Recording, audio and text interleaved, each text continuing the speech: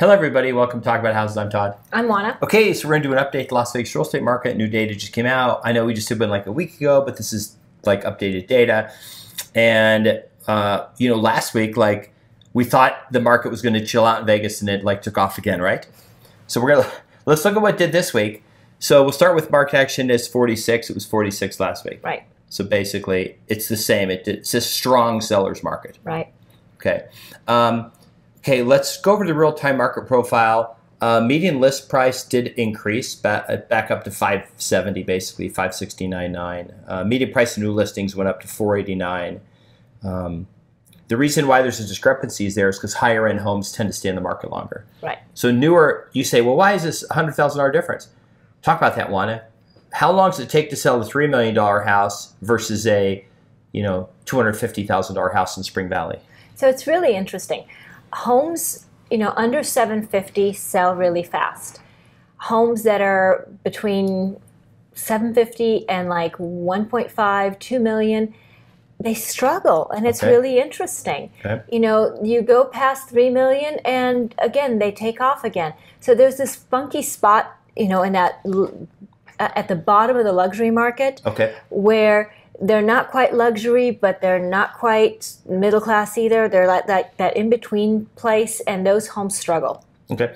Also, there's less of the homes in the higher. So this is median. Median is not average. It's the middle house. So if there's 10 luxury houses and 300 smaller houses, then it's not enough to pull the median up very much.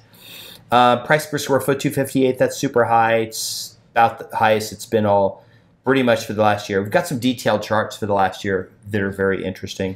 Here's the really shocking one. If you go down to inventory, it, it looked like it was going to like level off, but it's dropped. It dropped last week by like over 100 in the condo market. It even dropped and then dropped again. Right. So inventory is still dropping. Uh, we got a full chart to show you on that.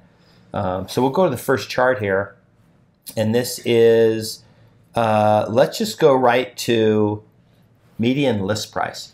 Now this looks weird because um, you see a big up and down. But the interesting thing about median list price is we're well above a year ago today. So this is that year over year comparison people have asked us. And if you go back to the dots and look 2022, 21, it's up every year, year over year. And I think that surprises people that we're up year over year. Now, that hump is the June, May, June, but that was sort of a false hump. Why was that a false hump in May of June of last year for Okay. list prices being super high? Right. So that was um, it was kind of the last big gasp of the fear of missing out people. Right. So They could they had their 5% lo- loan lock still. Right, right. So that was that, that that last gasp of that. But other than that, you can kind of see that, you know, to your point, year over year, uh, we're either on par or higher this year than last year. Yeah, and then this next one is inventory. Um, as you look at back over the years, uh, you know we have the 2019 where inventory was really high, and that was the first. People thought, "Hey, what's going on?" It should it should have declined throughout the spring. It didn't. It climbed. And then, of course, remember the Fed was raising rates. People don't realize this, but rates got up pretty high, got up into the upper 4s for a while in 2019. And then when the pandemic happened, we went into a recession, so the Fed literally put the interest rate to zero. Right. That's how we got these 2% interest rates. But what was weird is if you look back at that dot that's right July of 2022, inventory was absolutely screaming right now. Homes were flooding the market. People were in fear of a crash that never happened.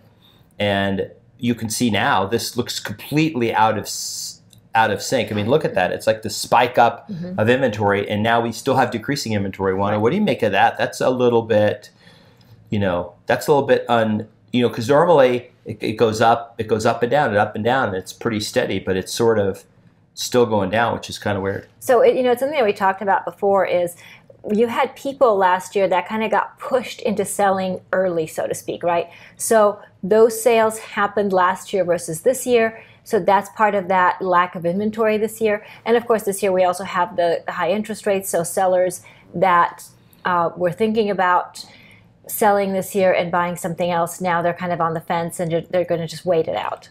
Um, and then this last chart here, this is the price per square foot.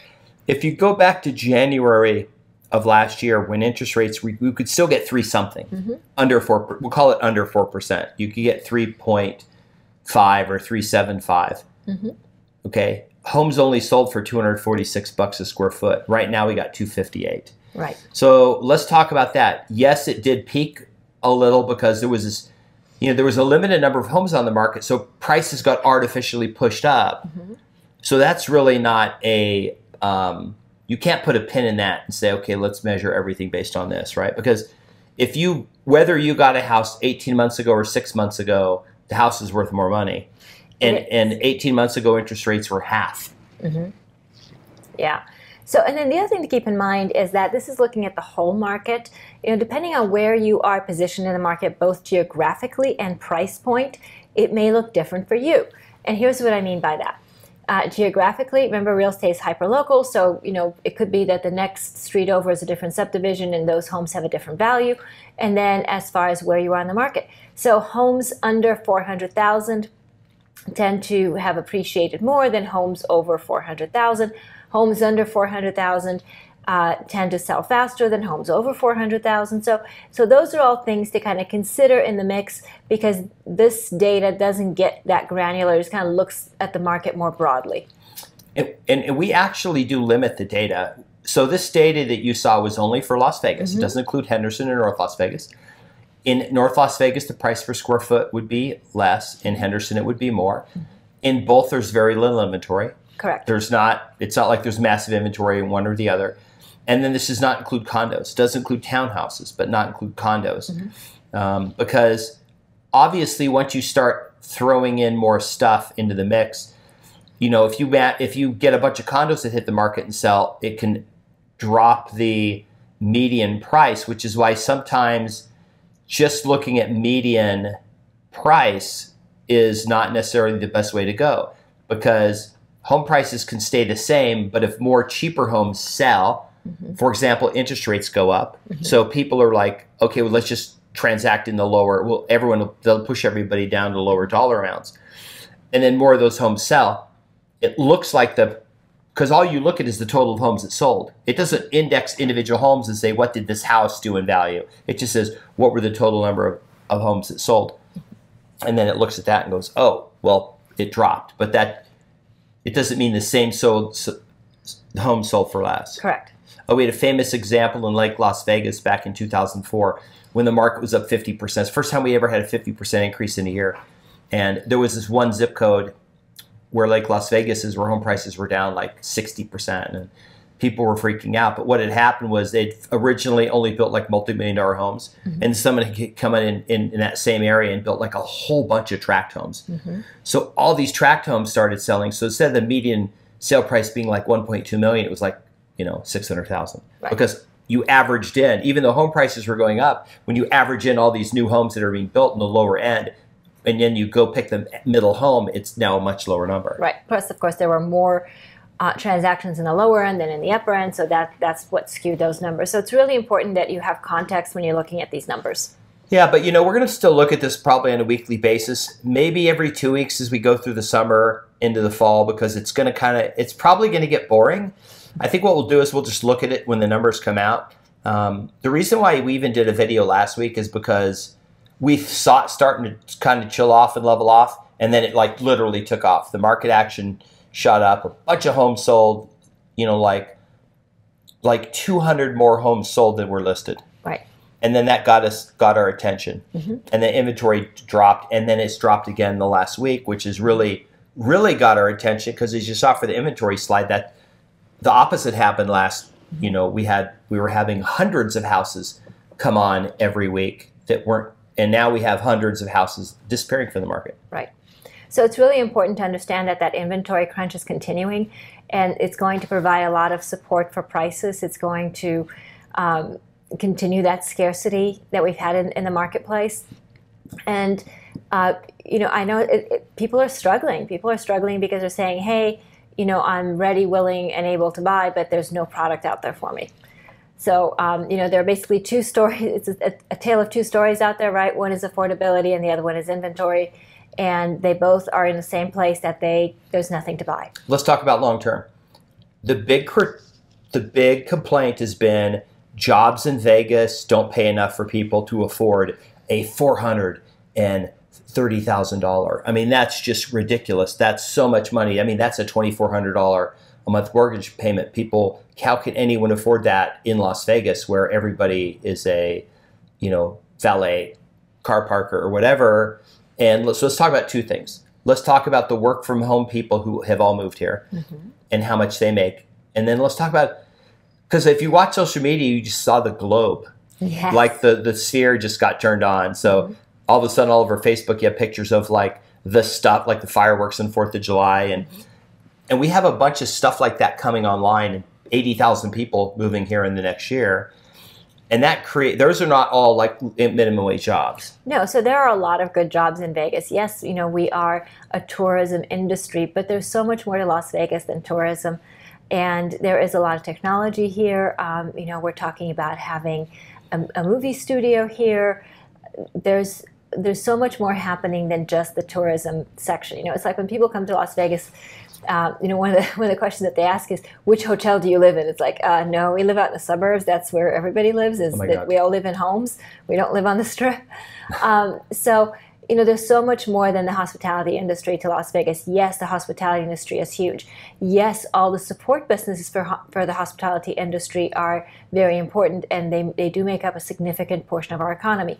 But there is more to Las Vegas than that. Okay, so the bottom line is I personally don't see a massive imbalance or bubble. This is not like when home builders were building, you know, ridiculous amounts of homes for people that weren't even here and that were just speculators buying these.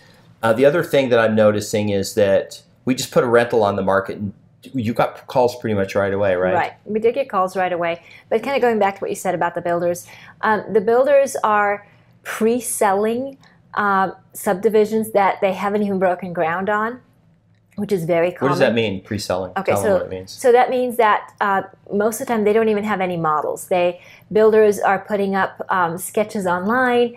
Uh, they're putting up virtual homes online, and people are saying, "Hey, I would like that home," and they sign up to buy a home. They put down a deposit, and the builder hasn't even broken ground. Uh, sometimes they'll have some models, but they'll be building that model all over the valley and uh, maybe the community that you're buying in is not even slated to be started for a year or two. So that's not uncommon either. So builders are not exactly uh, rushing to the marketplace and putting up homes at record pace.